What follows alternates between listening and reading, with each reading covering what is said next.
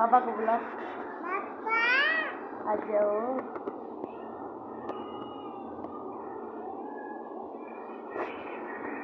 बाबा से बात करो